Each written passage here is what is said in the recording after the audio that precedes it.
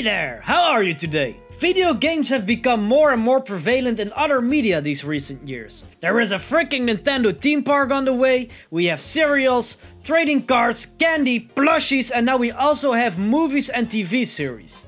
Detective Pikachu was a huge success, and Sonic is well on its way to do something similar.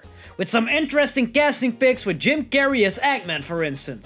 It's not going to get better than that. Alrighty then. And Netflix has also jumped on that train with the Witcher Netflix show. And yeah, I know, The Witcher is a book series and not actually a game series. But the franchise gained a lot of its popularity thanks to The Witcher 3. And while some people love it and for others it's not really their thing, the numbers don't lie. As it was watched to some degree by 76 million households. That ain't bad. So you can imagine that other game franchises want to taste some of that sweet movie or series magic as well. Director for God of War, Cory Barlog is most certainly one of them, stating in a tweet that he would love to see a God of War Netflix series. And I can't blame him. But that got me thinking. We know that there is a Super Mario movie on the way, but what if Nintendo got to pick some other franchises as well and transform them into a Netflix series or a movie? Then which ones would be the best pick? I want to present to you my top 5 of series that would be the most suitable for that kind of platform. Let's jump right in. Space. Lots of it. Space. That's always cool, right? There is literally a lot of room for possibilities. Visiting different planets, cool spaceship battles, and all kinds of different weird aliens and creatures. And that's why I would suggest Star Fox as the perfect contender for this. Just imagine, a new team of starfighters taking it up against space warlords in epic space battles. Visiting different planets where they are sent on new missions every time where they will eventually stumble upon a girl with ancient powers on a planet full of dinosaurs. You can see where I'm going with this. There is a lot of lore within Star Fox to make up an interesting story, with the main mechanic, which are space battles, being one of the core aspects. But if we want to go deeper into some more exploration driven storylines, you could really take Star Fox Adventures as a starting point for some wild expeditions. You have your main team that are the heroes of the story, with Fox, Falco, Peppy and Slippy, and your usual enemies like Wolf, Leon Powalski, General Scales and Andross, who will all put some pressure on the team. There is a lot that you can do with this source material.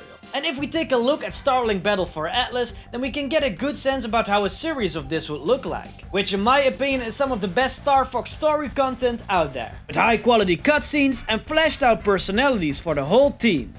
This could be a solid contender for some TV action, with a new mission every episode. We can only hope that it will happen one day.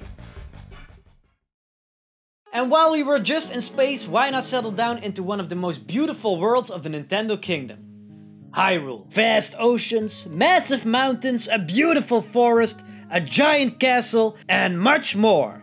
Again, so much to do here, especially because you have one world with unlimited possibilities. Man, what I wouldn't give to see a TV show with Zoras, Gorons, Deku Scrubs, the Kokiri, you name it.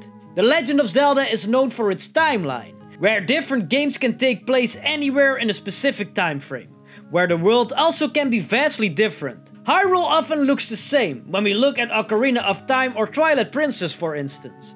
But we have also seen it undergo some massive changes, with Wind Waker where it was mostly underwater, or what about Breath of the Wild where nature has taken over. But no, if I had to pick one time frame, I would say around or before Ocarina of Time, where there are huge cities for the Goron and Zoras and smaller settlements around the world with interesting characters like Romani's Ranch or Kakariko Village.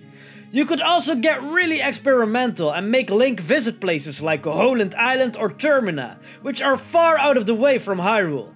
But yeah, an adventure heavy series where the imminent threat of Ganon is lurking around the world where things get worse and worse as time goes on would be something amazing. Traveling to different places to do everything to save Zelda. It would be kinda tricky with a silent protagonist, but with the likes of a companion... Hey, listen! No, no, not you!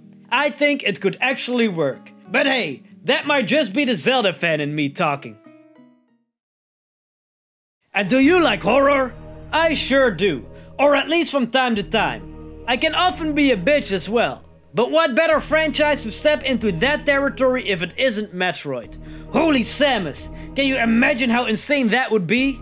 Dimly lit corridors in abandoned spaceships where there has been some crazy medical outbreak, with all kinds of different creatures and robots walking around trying to get to Samus. I could really get some Soma vibes from that.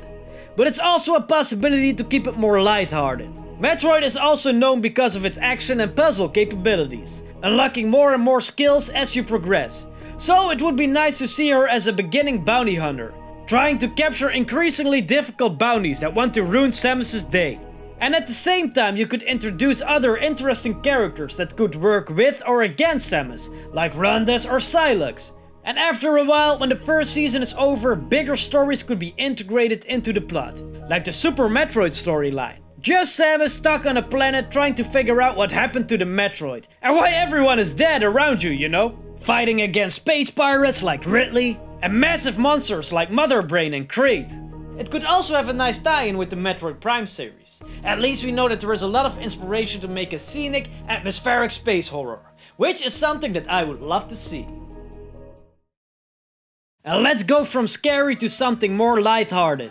Being scared isn't everything. It might be more important to laugh. And who's funnier than the stumbling idiot that likes to bother Mario all the time? Wario! With a WarioWare or Wario Land series to create some chaos. Look, I have always been a fan of the Wario Land series, but with WarioWare I think you have this little bit of extra magic that could lead to a very good TV show for young and old. I mean those games are based on humor and absurdity with the craziest lineup of characters and the most bizarre games from time to time. Here, let me show you some of it to get an idea.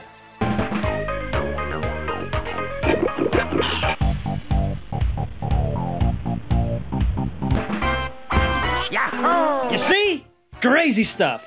Now this would be quite difficult to put in a TV show. But not to worry, because with Wario and his friends you can have more than enough fun.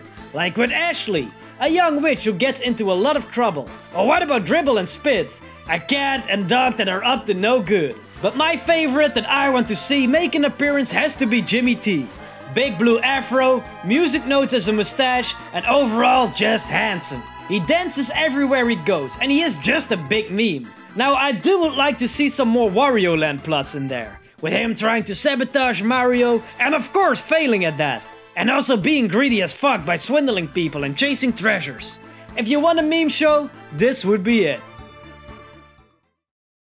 So four shows, and on top of that the Mario movie, Detective Pikachu and Sonic. So then what else is there left to do? That is starting the Super Smash Bros. initiative. We love it from Marvel with the Avengers. So why not do the same here? One big threat, probably Master Hand or Galeem, which can be defeated, unless all of our heroes get together and unite to defeat this huge problem. Now the issue that I could see with this is that they would probably look aesthetically all very different. I mean Sonic and Pikachu are live action, but I'll bet you that it will be not the case for the Mario movie. And for some of the series that I mentioned today, I don't know if the best decision would be to go fully live action. But if you want to fix that, I would suggest getting Sakurai on board who has basically done the same thing for Smash, giving all the characters similar features by which they look like they belong in the same game. I mean Mr. Game & Watch is just a silhouette, and even he doesn't look totally out of place. But alright, if we could fix that problem we would have a solid movie.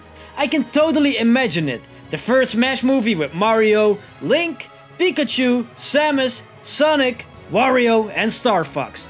After which more series will be created for Nintendo characters just for them to come back and do an even bigger mashup. If Nintendo would go in that direction, I would be one happy boy.